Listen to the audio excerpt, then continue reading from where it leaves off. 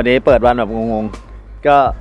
วันนี้ไม่ได้ทำอะไรเลยครับ ชิวๆกินเครื่องกินข้าว แล้วอยู่ดีเจ๊กก็พามาเที่ยวนี่ร้านขายมอไซค์มาแบบงงมากครับ แล้วก็กำลังคุยกันเรื่องอะไรแบบมอไซค์เพิ่งรู้ว่าญี่ปุ่นเขามีเล่นโซนิกด้วยนะ เดี๋ยวประธานก็จะแข่งปีหน้าก็เลยเดี๋ยวจะหาอะไรให้เขา แต่มาดูร้านเขาก่อนดีกว่า นี่ โอ้โห สวรรค์ของคนเล่นมอไซค์นะครับ คือ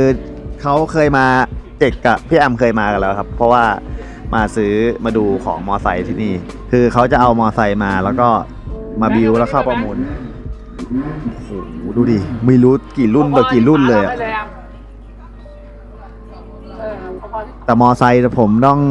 บอกเลยนะว่าไม่รู้เลยเพราะขี่ไม่เป็นด้วย เยอะมากโหยนั่นซูซูกิอะไรแล้วน่ะ วันนี้เอโป EPO โอ้อีนี่โปอีโปมีมังกี้มีอะไรเต็มไปหมดเลย ZX อะไรบ้างวะเนี่ย ใครเป็นเซียนก็ดูเอานะ เอาให้ดูเฉยๆโหเยอะจริง แล้วนี่มันมันซ่อมประมูลทันเหรอเนี่ย อันนี้อันนี้ชอบไม่โปรโมทเมื่อก่อนนี้เขาทำเขาทำส่งพวกเอ่อทันซาเนียอ่า ทันซาเนียแอฟริกาใต้อ๋ออาแล้วโดนโดนเบี้ยวแล้วก็เลยมาทำประมูลเองที่เนี่ยครับใช่เจ๊แล้วก็ขายในประเทศกัน อ๋อโหเยอะมากเลยสเนี่ย มัยก่อนขึ้นคอนกันนี้เลย อืมเขาคือเขาส่งส่งใช่พวกแอฟริกาใช่ไหมครับใช่โบโซมาเลย เดี๋ยวไว้ไปดูนี่ โบโซเสียงจะไม่ดังได้ไง พวก ตัดไซเฮียนเลยเนี่ย เดี๋ยวนี่แบนอันนี้อันนี้ยังไม่ได้ตัวพ่อตัวพ่อแฮนด์ต้องงอๆหน่อยเออ อันนี้ อันนี้ อันนี้รุ่นเล็กรุ่นเด็ก มีสติ๊กเกอร์ มีสติ๊กเกอร์แก๊ง ดูดิครับเขาเก็บไว้แบบ โอ้โห ถ้าใครเป็นเซียนมอไซค์แล้วดูอยู่ก็กรี๊ดกันเอาเองนะครับ เพราะว่ามีเยอะมากจริง ๆ มีทุกรุ่นอะแล้วส่วนใหญ่เป็นคลาสสิกทั้งนั้นเลยเนี่ยดูฮอนด้าคลาสสิกแบบน่าจะพวกปี 60 70 เก็บเอาไว้เต็มเลยพวกเนี่ย โอ้โห ไม่ต้องละไอพวกสกูตเตอร์เนี่ย DO DX อะไรเนี่ย ที่เล่นเล่นกันแง่ๆเนี่ย ดูดิ เต็มไปหมดแล้วครับ เนี่ยเต็มไปหมดเลย มีหมดเขานี่เขาจัดโซนนั่นแหละแบ่งโซนนะนี่เป็นโซนพวกสกูตเตอร์อย่างเดียว นี่เป็นโซนแง่แง่ๆโซนครับ เฮ้ยซูซูกินี่น่ารักดีอ ซูซูกินี่เจ๋งดีอะ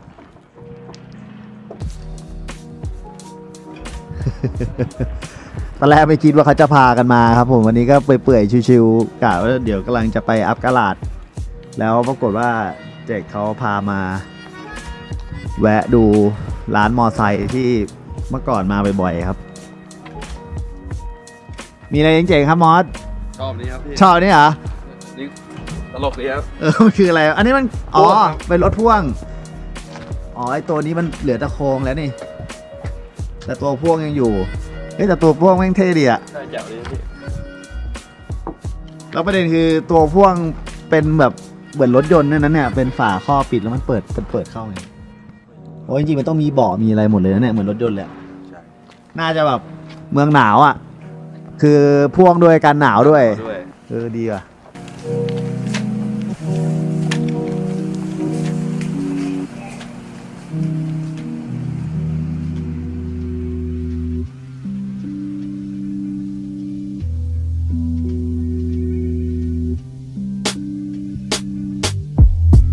อใส่อะไรอะใช้ไฟเบอร์เป็นพลาสติกไงอันนี้มันสองจังหวะป่ะพี่แอมซูซูกิ สองจังหวะ ใช่ครับ น้ำเลี้ยง เนี่ยดูเสื้อแล้วเนี่ยสองจังหวะแน่นอนนี่บ้านเรามีได้ปะอย่างงี้ ไม่มี บ้านเราก็เครื่องเก่าๆไมโครอะไรอย่างเงี้ยป่ะคาวาสกิไมโครอืมน่าพอกันนะ อันนี้แต่อันนี้ซูนี่ซูเออให้เลยเป็นซู ใช่ มันทรงมันเก่า แปลกๆดีเนาะ94อะทรงอะไรนะ RG Super Sport อันนี้น่าจะรุ่นต้นตำรับก่อนพี่หลิวเตอร์หัว นี่ รุ่นนี้ไม่ต้องพกถังแก๊สอันนี้พกปิกนิก แต่ละ พี่หลิแต่วพกถังแก๊ส GSXR คาวาสกิก็ว่าอันไหน นี่ไงอันนี้ใช่ไหม400ตัวเก่าใช่400ซีตัวเก่าสองชั่วโมงคาวาใช่นี่ใช่แบบโอนิซิกะปะเนี่ยแซทูเนี่ย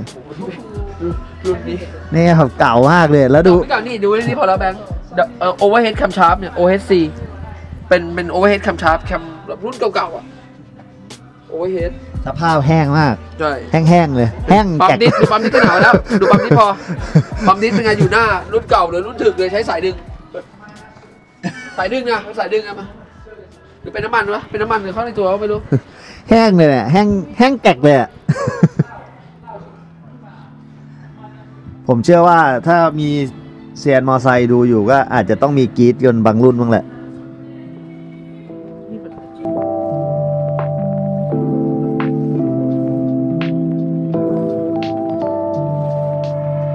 เอเป้ ใช่แต่มันจะมีตัว 50 กับตัว100ซีซีพี่ไม่รู้ดูไม่เป็นว่ามัน50ทอแท็บมาด้วยนะเนี่ย เออคนตีดีกว่าแต่ไม่รู้มันห้าสิบกับตัวร้อยดูไม่เป็นตัวร้อยขี่ดี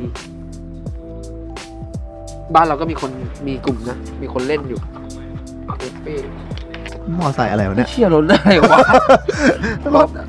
ป๊อปเกลดูดิ มันอ่านแล้ว POP ป๊อปเกลวะ เออป๊อป G A L เออ G A L อะไรเกลอะป๊อปเกลอะเกลป๊อปเกลอะไรเอเนี่ยอเออแปลกดีว่ะไม่เคยเห็นเลยพิสดารพิสดารของแปลกๆเพียบเลยสกูตเตอร์พี่ดูซูซูกินั่นเนี่ยแห้งเหมือนจักรยานเลยดูดิเออผอมรถผอมรถผอมไม่ไม่เหมือนกันเลยนะเหมือนจักรยานไม่บ้านเลยเออเนี่ยนะแปลกๆเห็นไหมสีแดงแดงๆชมพูชมพูเนี่ยรถมันแปลกๆนะเออมันแปลกๆงั้นเลยอะเอส มันก็เอรุ่นเดใหสม่เอนะเดสใช่ มีร้อยสิบกับร้อยยี่ห้าว่ะเนี่ยร้อยยี่ห้าเนี่ยมันเขียนอยู่ร้อยยี่ห้าเอง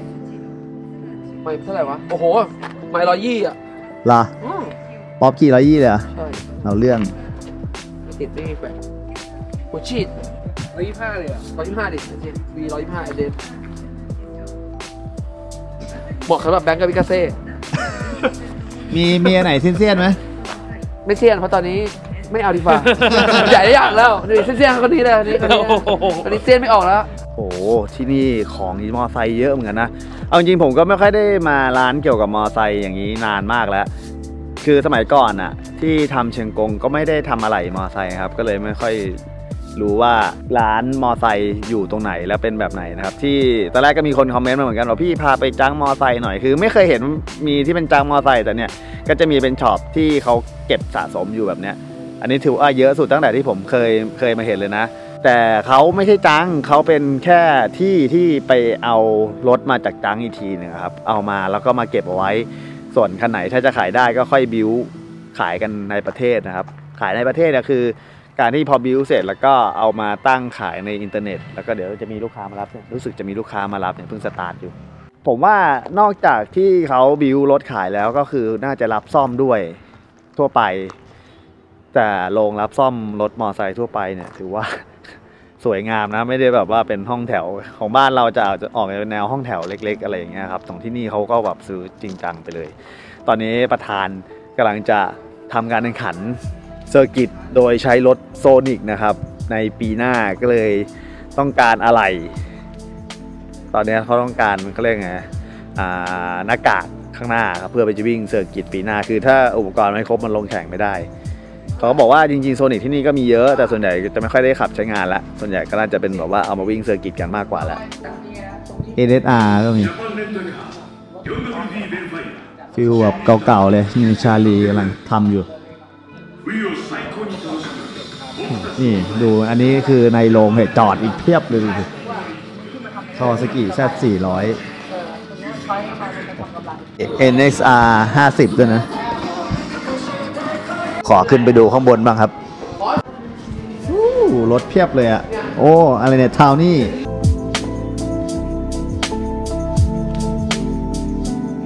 NSR 80อะไรเนี่ยเต็มไปหมดเลยอะ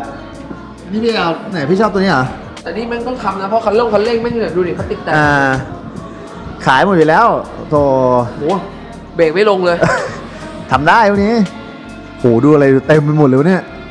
มีเวียนเวสป้าดูดิ เวป้าเต็มไปเลยข้างในอะ เนี่ย โอ้โห ดูพวก NSR ดิพี่ พวกนี้น่าจะแพงอะโอ้โห แพงอันเนี่ยยี่ยี่สิบกว่าใบอะ เนี่ยเหมือนแปะป้ายอยู่อะยี่สี่อะยี่เออยี่สิบกว่าใบอะ อันเนี้ย NSR ห้าสิบตัวนี้ คันนี้ NSR ห้าสิบคันนี้สิบกว่าใบ เป็น NSR เหมือนกันครับเอ๋อเป็น Y YSR ครับ ดูดิ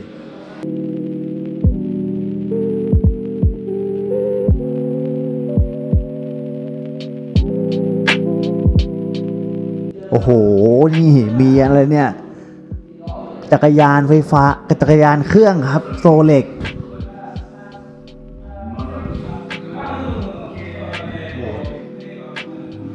มีหมดเลยอะ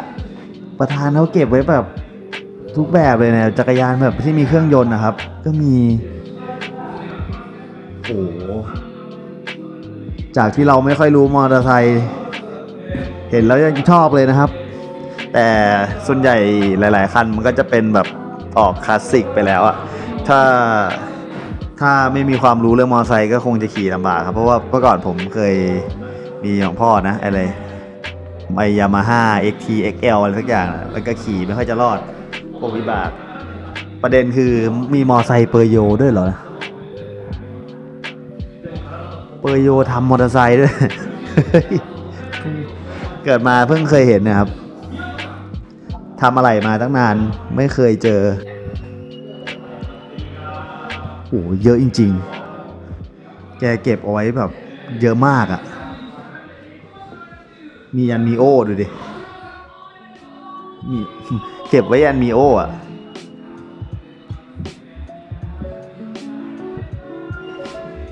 พาเพื่อนๆดู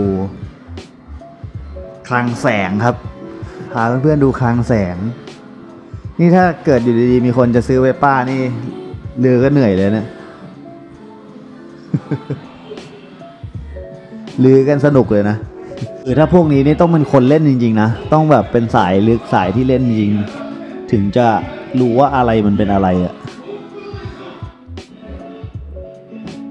คันนี้แค่คันนี้สภาพเนี้ยแปดใบเขียนเบลลี่ C3 โอ้โหได้ดูอะไรแปลกๆ นอกจากรถยนต์บ้างเหมือนกันครับ มาดูโลกของ มอเตอร์ไซค์บ้าง เจอมอโต้คอมโปซะแล้วแต่มันไม่เข้าจำแบบนั้นแต่มันคนละใครเป็นคนขายไม่ได้เขาบอกว่า怖いな怖いそうだなเขากลัวพังอะหัวใจนะตุ๊กตุ๊กโอ้โหอะไรจะเอาเนี่ยうんちไっとおおおあれじゃあちょっと危ないね危ない危ない危ないไม่ได้ ตรายอัน ทา ต ง รา นี้ ย ไม่ได้เหรอตรงเนี้ย แต่คือถ้าเกิดชัวร์ๆถอดกระจก เออ あそした方がいいっすようん外した方が間違いないかなそうあーちょっと危ないねちょっと外す ว่าถ้า ね ไปเก็บได้ เขาบอกว่าถอดถอดน่าจะปลอดภัยกว่า แล้วก็ปิด มันต้องมีวิธี แต่ตรงมีอันเดียวไม่เหรอ มันแค่พิเศษนั่งเฉยๆ เพิ่งรู้ว่ามอเตอร์คอมโบเวลานอนเขาจะมีฝั่งให้เขียนเนี่ยฝั่งอัพเขาบอกให้ให้อันเนี้ยอันเนี้ยคือฝั่งด้านข้างบนเราเอานอนไปตรงนู้นได้ มันจะไม่พัง ปรากฏแม่งอัพอะคือหมายถึงว่าให้อัพมาทางนี้ แต่รถมันขับได้ใช่ไหมเมื่อกี้ ขับไม่ได้ ขั มันเหมือนสตาร์ทแล้ว แต่ว่าเร่งไม่ได้ มันเร่งไม่ได้ มันเหมือนมันวอดอะเพราะว่า เออเหมือนมันกำลังอัดอะก็คือไปแก้บิดลูกสูบนิดนึง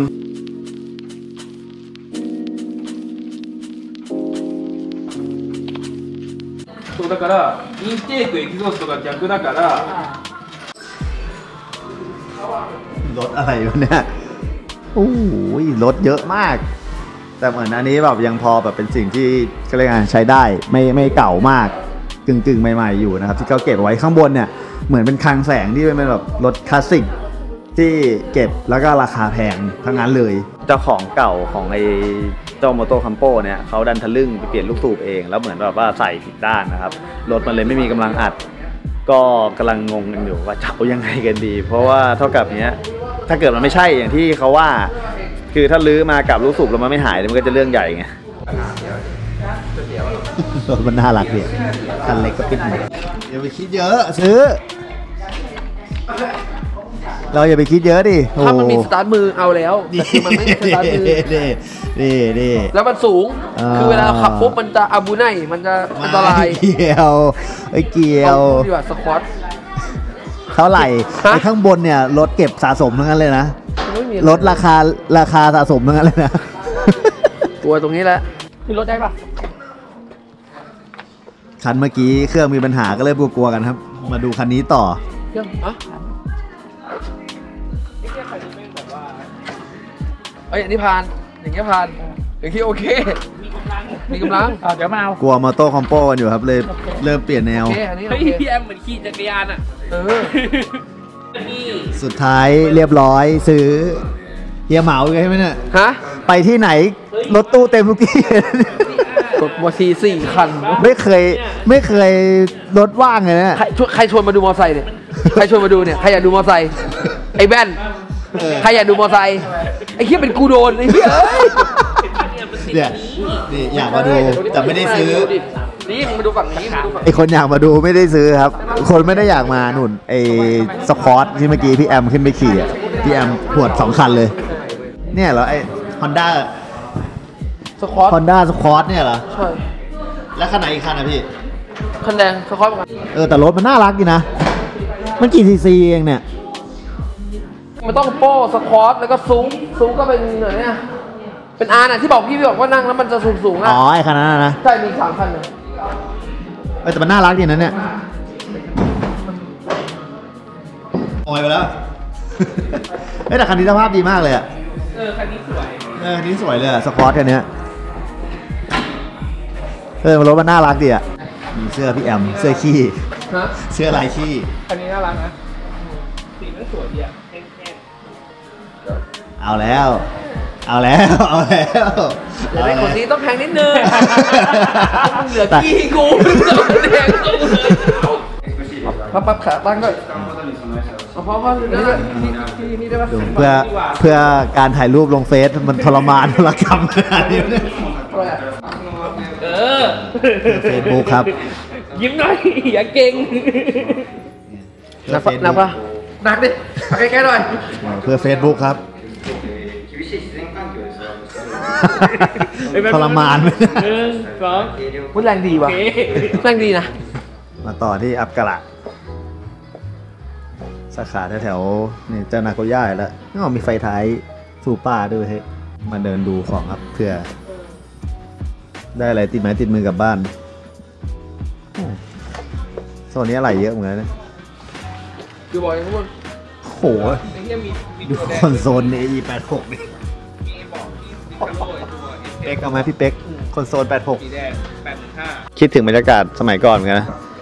ร้านที่เมืองไทยก็ไม่ได้น้อยหน้าที่นี่เหมือนกัน อย่างนี้ยังขายกันเลยดูดิ แค่ฝาข้าวบาวข้างเดียวด้วยนะของ RB26 ตอนนี้เป็นหมวดต่างคนต่างดูของเซียนของตัวเองครับ ของซูซูกิอ่าจิมนี่ก็มาแล้วนะ พวกกระเจิงกระจังเนี่ยสามประตูนี่ โอกาสจะเจอของนี่น้อยมากๆนะครับ ตั้งแต่อยู่อัปกราดมานี่เจอน้อยมากเนี่ยพวก86ยังเยอะสักกว่าอีกนู่นนี่กันชนสงใสัยนี่คงรื้อรถทั้งคันแล้วเอามาขายที่นี่มั้งใน86กันชน6,000เยน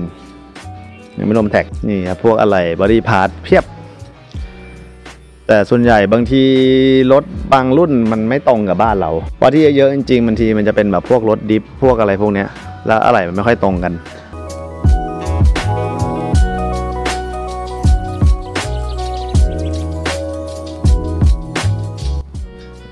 โอ้ นี่ตัวใหม่ l e c a r o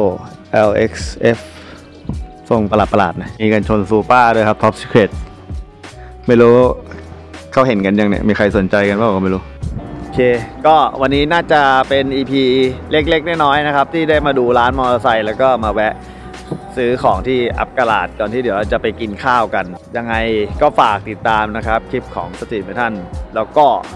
อย่าลืมกด subscribe แล้วก็ดูรูปที่สวยได้ใน IG แล้วก็ Facebook Fanpage นะครับ วันนี้น่าจะลาไปก่อน เพราะว่าเดี๋ยวพรุ่งนี้เรากำลังจะมีแผนที่จะมุ่งหน้าไปกิฟูก็คือ R31 House นั่นเองนะครับกะว่าจะไปถ่ายรถประธานซะหน่อยสำหรับคัน R3 หนึ่งที่เราเคยถ่ายไป แต่ว่าคันนี้เราจะอออกมาข้างนอก เพราะประธานได้อัพ เอาท่อเฮดเดอร์นะครับของพี่อ๋อลงไปในรถของเขาเรียบร้อยแล้ว ก็อยากจะไปถ่ายซะหน่อยก่อนที่เราจะกลับบ้านกันนะครับ โอเคยังไงเจอกัน EP ต่อไป บ๊ายบาย